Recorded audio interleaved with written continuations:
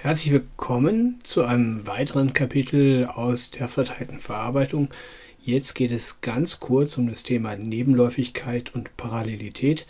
Ähm, ich denke, einiger Stoff wird schon bekannt sein. Also mit Threads programmiert man eigentlich relativ früh in Java. Äh, wir wollen uns jetzt hier nochmal um die Spezialitäten kümmern, die wichtig sind für verteilte Systeme.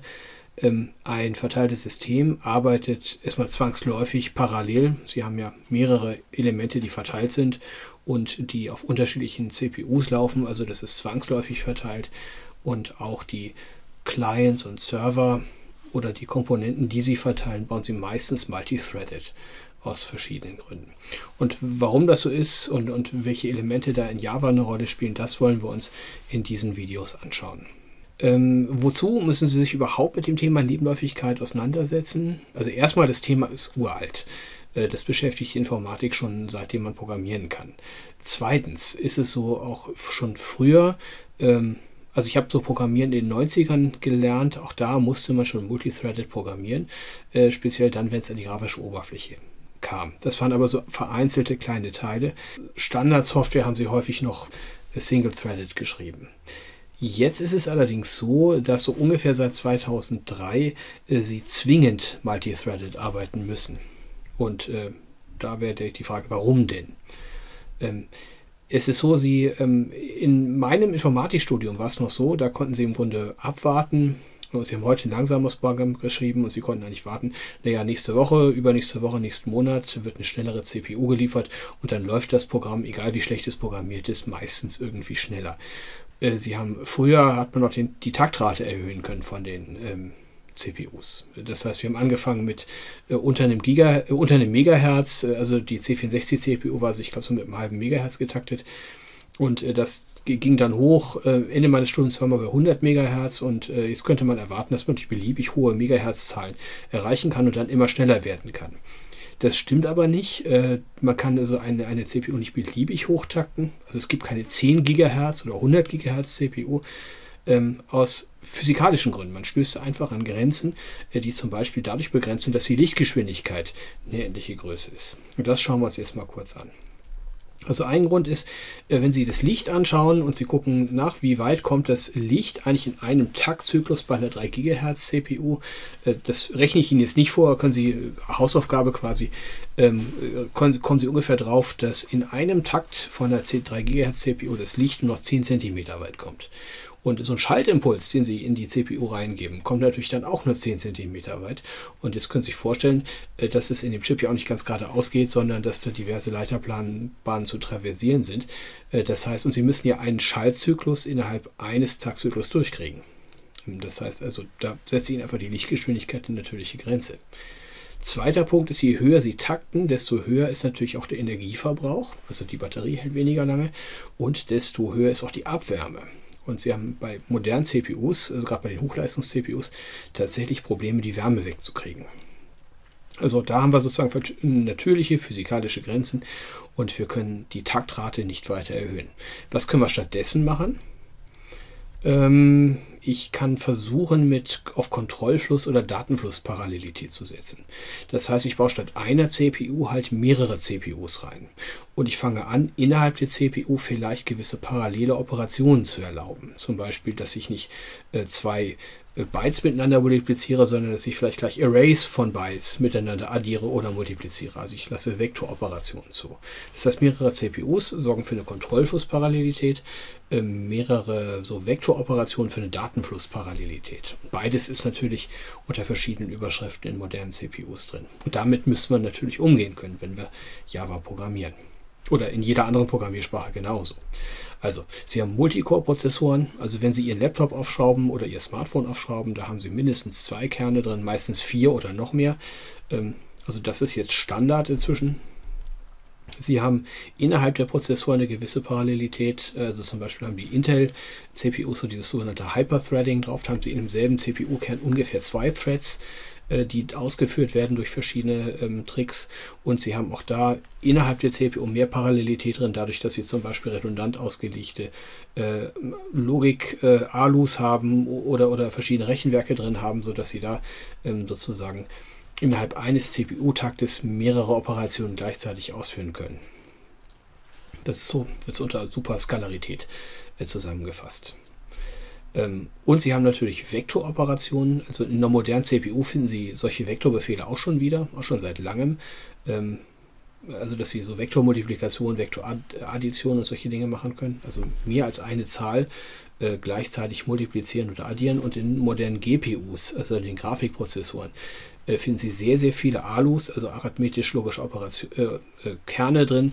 Und mit denen können Sie auch große Arrays und Matrizen verarbeiten. Deswegen sind die ja zum Beispiel so beliebt äh, beim Ausrechnen von KI-Algorithmen oder beim Berechnen von Bitcoins. Also mit Grafikkarten, mit GPUs machen sie nicht zwingend nur noch Grafik. Kennen Sie schon aus dem Alltagsgeschäft.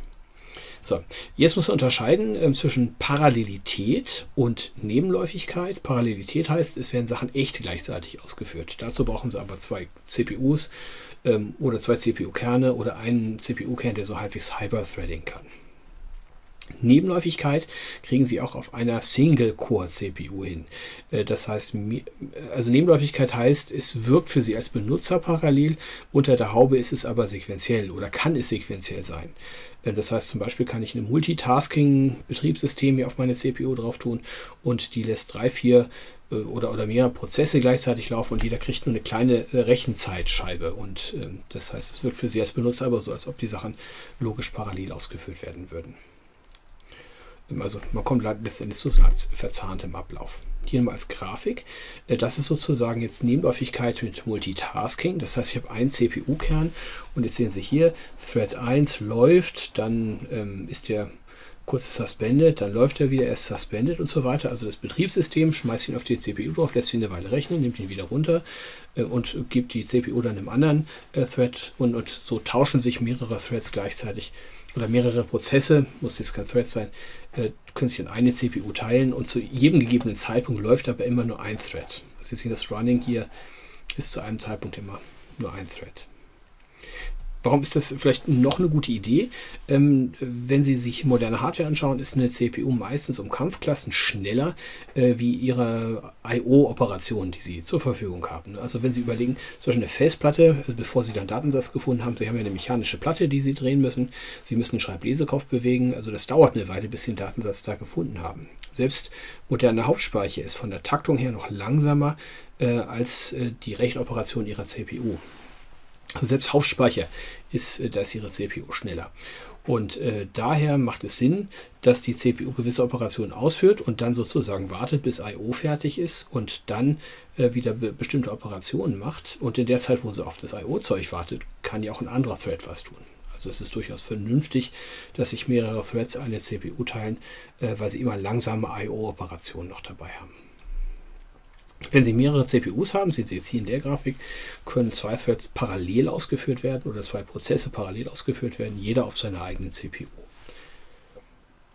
Also das heißt, dass Sie sehen also hier, das ist wirklich grafisch der Unterschied zwischen, das ist tatsächlich echte Parallelität zwischen Thread 1 und Thread 2, gleichzeitige Ausführung, beide auf einer eigenen CPU. Und hier, da sind äh, sozusagen nur logisch parallel, ähm, also nebenläufig und zu einem Zeitpunkt ist aber nur ein Thread tatsächlich am Laufen. Okay. Äh, warum brauchen wir Nebenläufigkeit? Also ein Grund ist tatsächlich diese moderne Hardwareentwicklung, nicht? Also das heißt, die, die Taktung können Sie nicht erhöhen, also müssen sie parallel werden, um die Geschwindigkeit noch zu verbessern. Also mehr Kerne, mehr Hyperthreading und so weiter. Aber da muss das Programm natürlich das auch ausnutzen können. Ähm, und, und Sie haben ähm, ein verteiltes System ist ja zwangsläufig ähm, nebenläufig, weil Sie ja zwei Prozesse aus zwei verschiedenen Rechenräumen haben, sonst wäre es ja nicht verteilt. Und Sie haben also zwangsläufig mindestens einen Thread, einen Prozess. Also beides ähm, pro Maschine, die beteiligt ist. Wenn Sie einen Server bauen, ist der zwingend multithreaded eigentlich. Also stellen Sie sich vor, Sie haben Amazon, was single-threaded ist, dann könnte der ja nur eine Anfrage gleichzeitig verarbeiten. Ähm, das heißt, äh, wenn der meine Anfrage verarbeitet, kann Herr Müller nicht mehr bestellen, weil ja meine Anfrage bearbeitet wird. Das wäre so ein single-threaded Server. Das geht natürlich nicht. Äh, da sehr viele Leute gleichzeitig den Server verwenden wollen, muss der zwingend multithreaded sein. Und äh, Clients sind meistens auch multithreaded. Grund sind, ähm, sie haben häufig so ein Repaint-Thread in der grafischen Oberfläche, also irgend so Ding, was so zyklisch die Oberfläche neu malt, im Vordergrund oder im Hintergrund irgendwo vergraben. Und sie haben aber manchmal äh, lange laufende Aktionen. Also es kann ja sein, dass der Server mal äh, 10 Sekunden braucht äh, bis zu einer Antwort und es soll aber das Repaint der Oberfläche trotzdem funktionieren. Also dürfen durch langlaufende GUI-Aktionen, die Sie, also wo Sie jetzt einen Server aufrufen beispielsweise oder langsames I.O. machen, äh, dürfen Sie gewisse zyklische Aktivitäten der Oberfläche nicht blockieren. Der Klassiker ist, dass Sie auf langsame Server oder langsame Ein- und Ausgabe, das machen Sie typischerweise in einem eigenen Thread.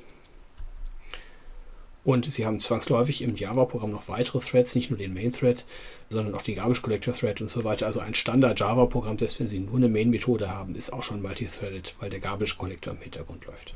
Hier nochmal kurz das Beispiel mit der, mit der Endlosschleife. Also stellen Sie sich folgendes vor. Das ist so ein bisschen so ein, so ein an, an, das alte Java Swing angelegtes Beispiel. Sie haben hier so ein Event Dispatch Thread, also ein Thread, der so zyklisch bestimmte Dinge tut. Also einfach eine, können Sie sich als While True Schleife vorstellen. Der macht vielleicht einen Repaint, fragt die Tastatur ab, fragt die Maus und das Touch Display ab, arbeitet jetzt die Ereignisse, die er gekriegt hat, ab und aktualisiert dann die Oberfläche. Und das läuft dann sozusagen zyklisch bis zum Hitzetod des Universums, wenn man es nicht unterbricht. Sondern wenn Sie jetzt aber da eine langlaufende Aktion haben, also zum Beispiel, wenn dieses Ereignisse abarbeiten jetzt so lange dauert, also stellen Sie sich vor, der braucht jetzt eine Minute, dann ist natürlich der gesamte Thread hier blockiert. Und äh, das, damit funktioniert das Repaint nicht mehr und damit äh, und, und die Oberfläche reagiert nicht mehr, äh, weil, weil der die ganze Zeit abarbeitet. Und viele Benutzer denken schon nach so drei, vier Sekunden, dass das Ding kaputt ist und machen es dann, dann aus. Also stellen Sie sich vor, Ihre App würde blockieren auf dem Smartphone. Sie würden schon glauben, dass es kaputt ist und Sie beenden das App dann einfach. Und, und, und also das System wäre sozusagen nicht mehr responsiv. Also antwortet nicht mehr auf Ihre Anfragen und deswegen müssen sich da was anderes erlauben, äh, anderes äh, überlegen. Und ähm, wie gesagt, da, das ist die Standardlösung, ist auch schon seit 20, 30 Jahren, ist eigentlich, dass sie die Sachen in den eigenen Thread packen. Das ist keine Erfindung der Neuzeit. Das haben sie über Java Swing schon von Anfang an so gemacht. Also schon in den 1990er Jahren haben sie da eigene Threads programmiert. Das ist keine neue Erfindung. So, was machen Sie? Sie bei dem Ereignisse abarbeiten, starten Sie einen Worker-Thread. Das ist jetzt ein bisschen eleganter, als es früher war. Und ähm, also weil es einfach mehr Programmierabstraktionen gibt, aber letzten Endes starten Sie in allen Fällen so einen Worker-Thread und äh, in dessen Kontrollfluss wird sozusagen die langlaufende Anfrage gemacht, aber das wird hier losgestartet, der Thread läuft los und der Event Dispatch Thread hier läuft trotzdem weiter. Und die langlaufende Anfrage äh, findet in dem eigenen Thread statt.